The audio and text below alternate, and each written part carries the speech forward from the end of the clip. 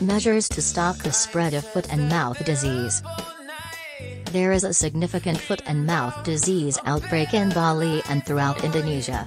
Animals having cloven feet, such as cows, buffalo, goats, sheep, pigs, camels, deer, and alpacas, were infected by the virus. Up until this point, Bali's farms have generally been able to suppress the epidemic. Currently, biosecurity precautions are being stepped up at Bali Safari Park and other animal facilities on the island. Bali Safari Park is a popular tourist destination in Bali.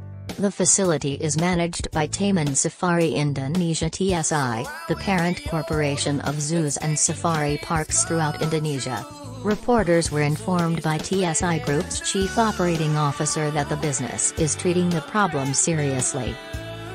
Adrian Cecil informed the media, we have temporarily suspended feeding so that disease transmission from people to animals may be minimized, especially in the hotspots in East Java.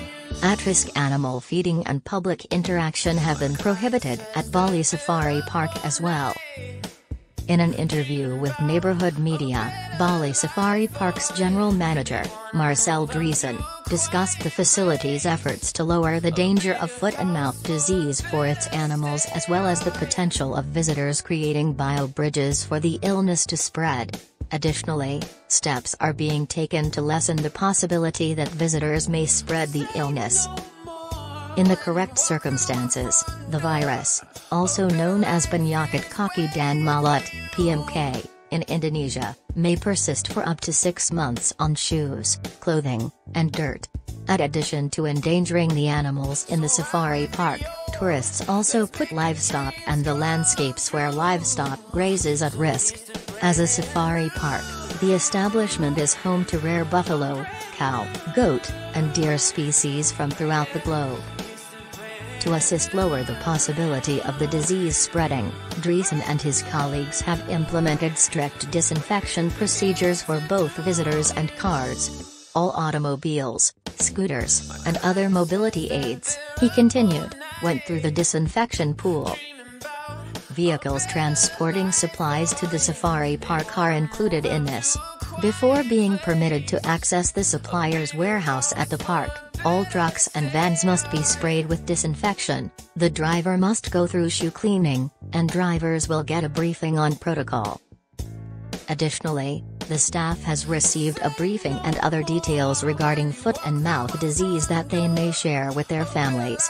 Though it is believed that the agricultural community in Bali is becoming more conscious of foot and mouth disease, other locals may not be as knowledgeable about PMK and should be educated to help farmers and rural communities. Approximately three weeks ago, Driessen stated that we also socialized all employees about the dangers of FMD contamination, of which our employees, mostly from local residents, to be careful not only in animal parks but also at home and are also expected to help inform their families and the community about the dangers of FMD. The water management system for the animals at Bali Safari Park has also undergone modifications. Typically, the Subak waterway is the source of the water that the animals have access to in their cages. There are worries that the watercourse is now poisoned as a result of instances in animals upstream. In order to prevent animals from reconsuming the water, which is thought to be poisoned, he stated, we have a Subak water channel that comes from outside to enter the animal park. The sanitary mats that have been laid all across Bali Safari Park are the most obvious change for guests. The sanitizing mats for shoes are a significant factor in the process of risk reduction.